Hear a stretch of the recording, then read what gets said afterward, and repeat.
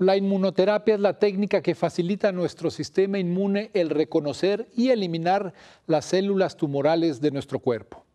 Los trabajos de los doctores James Allison y Tazuku Onko, reconocidos este año con el premio Nobel, han desencadenado el potencial de estas terapias con casos de éxito, aunque aún es una terapia en experimentación. Actualmente en el área de cáncer, por ejemplo, solo el 20% de los pacientes responde a las inmunoterapias y los efectos secundarios pueden ser altamente tóxicos. Veamos la siguiente nota. El Premio Nobel de Medicina 2018 fue concedido este primero de octubre al estadounidense James P. Allison y al japonés Tatsuko Onjo por sus descubrimientos en nuevas terapias contra el cáncer basadas en la habilidad del sistema inmunológico para atacar células cancerígenas.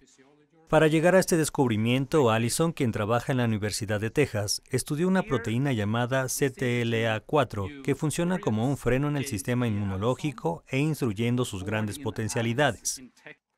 Mientras Sonjo realizó otro paso adelante en este nuevo camino descubriendo la PD1, una proteína de las células tumorales que funcionan también como un freno, pero con un mecanismo de acción distinto respecto a aquellos conocidos hasta el momento. Este año no se entregará el Premio Nobel de Literatura, pues la Academia Sueca se encuentra inmersa en un escándalo de filtraciones y supuestos abusos sexuales, pero en 2019 se concederán dos galardones.